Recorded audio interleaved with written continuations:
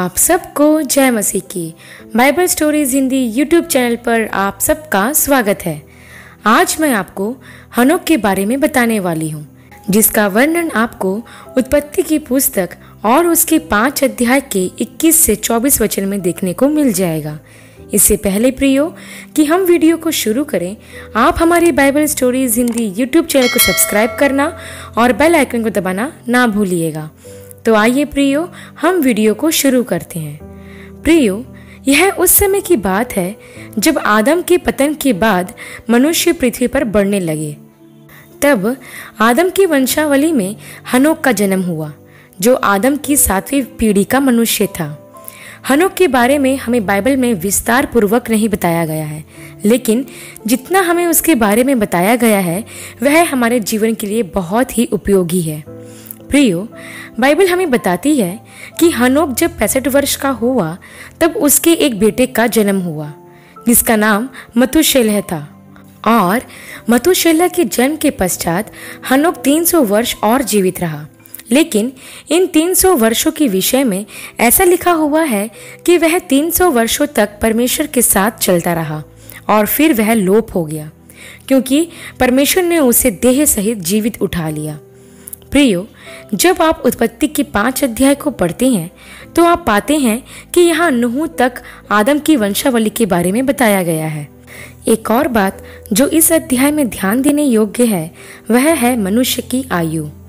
उस समय के लोग सैकड़ों वर्षों तक जीवित रहते थे। उस समय अधिकतर लोगों की आयु 300 से 900 वर्ष तक रही। और यही नहीं प्रियो, आप यहाँ यह भी देखते हैं कि यद्यपि उनका जीवन लंबा था लेकिन वह मृत्यु पर ही समाप्त हो रहा था।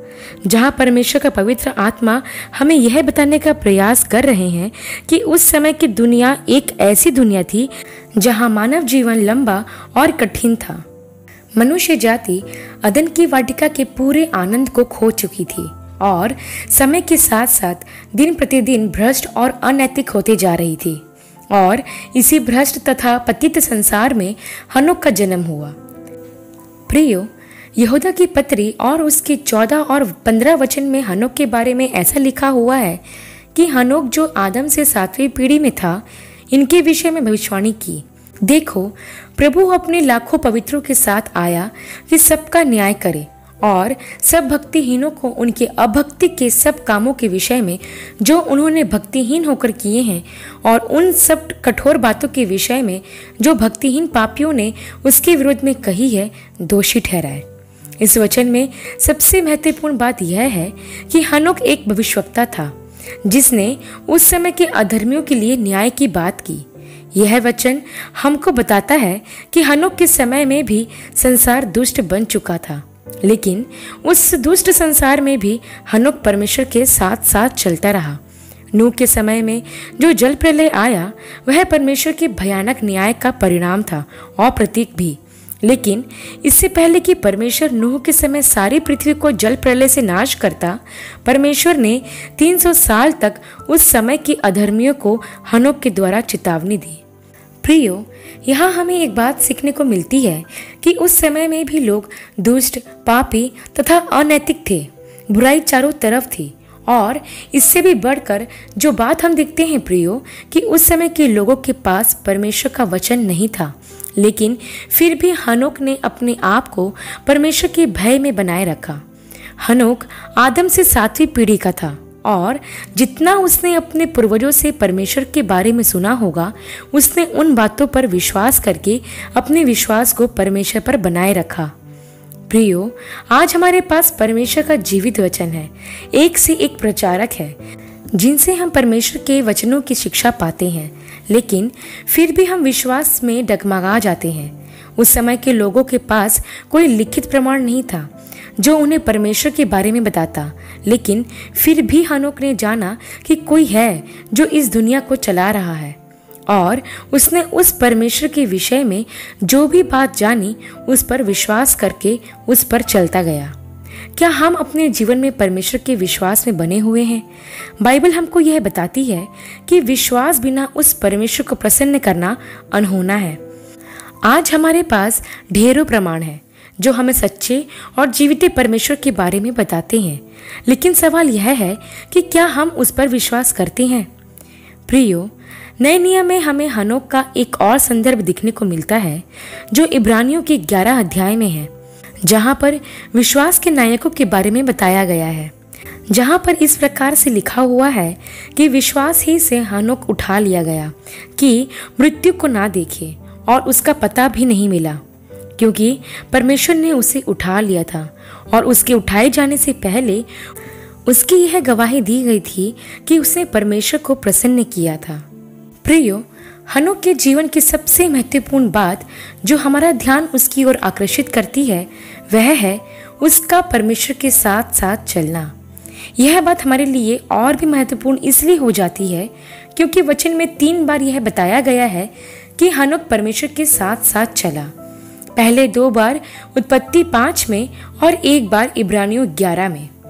बाइबल इस बात पर ज़ोर क्यों देती है कि हनुक परमेश्वर के साथ साथ चला? हमें इसे जानना बहुत ज़रूरी है, क्योंकि यह हमारे लिए भी बहुत महत्वपूर्ण है। प्रियो, जब हनोक पैंसठ वर्ष का था, तब उसका बड़ा बेटा मधुशैलय उससे पैदा हुआ। और वचन में लिखा हुआ है कि मधुशैला के जन्म के पश्चात हनोक 300 साल परमेश्वर के साथ साथ चलता रहा। इसका मतलब मधुशैला के जन्म से पहले हनोक का पैंसठ साल का जीवन परमेश्वर से दूर ही रहा होगा। उन पैंसठ सालों में क्या हुआ था, हम नहीं जानते। लेकिन बाइबल हमें इतना बताती है कि मधुशैला का जन्म हनोक के लिए एक टर्निंग पॉइंट था, जिसके बाद वह 300 साल तक परमेश्वर के साथ साथ चला। और उसके बाद वह उठा लिया गया और लोप हो गया। अब आप लोगों के मन में यह सवाल आ रहा होगा कि परमेश्वर के साथ साथ चलना इसका अर्थ क्या है? तो आइए प्रियो, अब हम जानते हैं कि परमेश्वर के साथ साथ चलने का अर्थ क्या है। सबसे पहली बात कि परमेश्वर के साथ चलने के लिए हमारा उस पर विश्वास होना बहुत ज़रूरी है। बिना विश्वास के हम उस परमेश्वर के साथ एक कदम भी आगे नहीं बढ़ सकते हैं। विश्वास के बिना हम परमेश्वर के साथ अपना रिश्ता नहीं बना सकते हैं। विश्वास ही के द्वारा हमारा मेल परमेश्वर के साथ होता है। एक बात हमेशा याद रखे प्रियो, कि हनोक मेरी और आपकी तरह ही एक मनुष्य था। वह भी पापी पैदा हुआ था, क्योंकि वह भी आदम का ही वंशज था। इसलिए उसे भी हमारी तरह क्षमा और शुद्धिकरण की आवश्यकता थी। कोई भी परमेश्वर के साथ तब तक नहीं चल सकता जब तक उसका पाप क्षमा न कर दिया जाए और वह विश्वास से धर्मी ना हो जाए। लेकिन हनुक ने अपने विश्वास से परमेश्वर को प्रसन्न किया। वैसे ही हम भी अपने विश्वास से परमेश्वर को प्रसन्न कर सकते हैं। एक और बात प्रियो, जो हनोक से हमें सीखने को मिलती है कि जब कोई व्यक्ति परमेश्वर के साथ चलता है तो वह उसके साथ एक मन हो जाता है। आमोस नबी की पुस्तक के तीन अध्याय और उसके तीसरे वचन में लिखा है कि यदि दो मनुष्य परस्पर सहमत ना हो, अर्थात एक मन ना हो तो क्या वो एक साथ चल सकेंगे?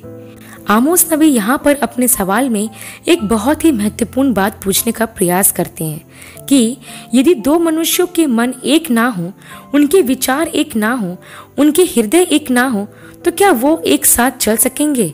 नहीं प्रियो, ऐसा संभव नहीं है। दोनों को एक साथ चलने के लिए ना सिर्फ़ उनके मन, विचार और हृदय का एक होना ज़रूरी है, बल्कि उनके उद्देश्यों का भी एक होना बहुत ज़रूरी है। तब ही वो उस दिशा में एक साथ आगे बढ़ सकेंगे। जब हम अपने मन को परमेश्वर के मन के जैसा बनाते हैं, तब उसका उद्देश्य भी हमारा उद्देश्य बन जाता है।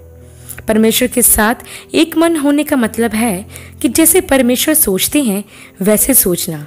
जैसे परमेश्वर बोलते हैं, वैसे बोलना।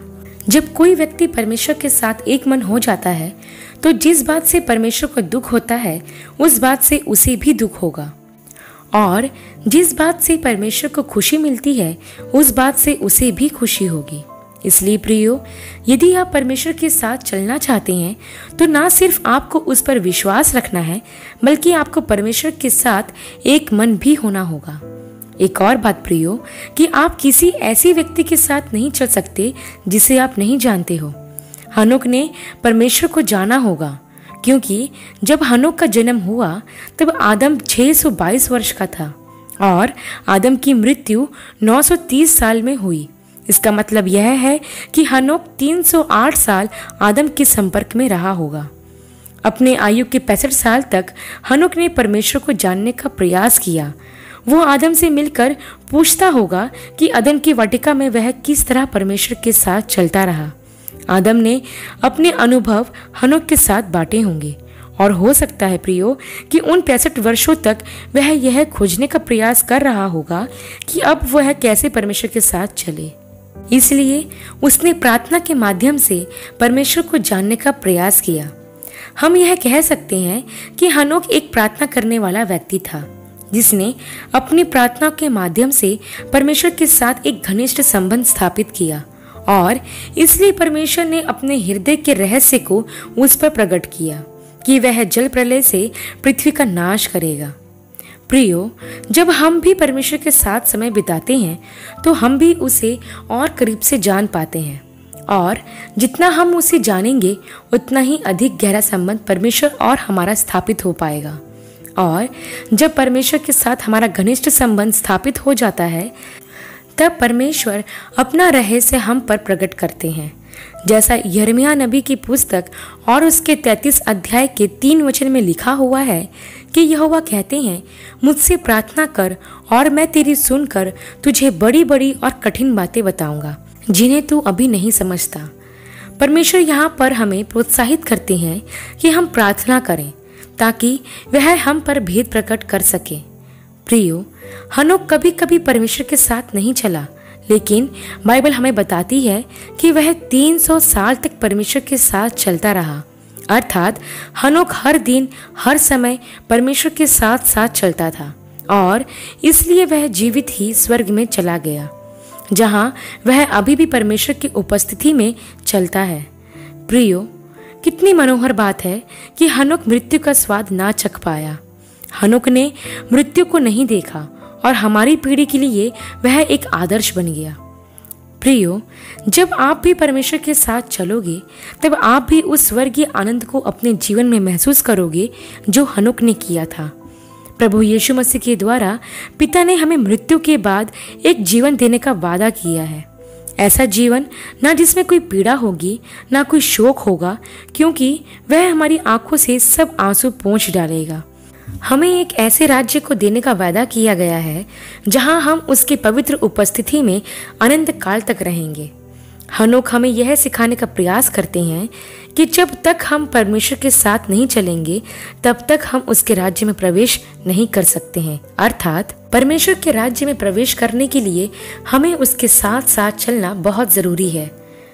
प्रियो, यदि आप संसार के साथ चलोगे तो आप संसार के साथ ही रह जाओगे। और, यदि आप परमेश्वर के साथ चलोगे तो वह आपको अपने साथ, अपने राज्य में ले जाएगा। तो अब निर्णय आपको करना है कि आप किसके साथ चलना चाहते हैं। आशा करती हूँ प्रियो, हनु के जीवन पर किया गया यह अध्ययन आपके लिए आशीषमय रहा होगा। अगली वीडियो में एक नए विषय के साथ आप सबसे फिर मुलाकात होगी। तब तक के लिए आप सबको जय मसीह की।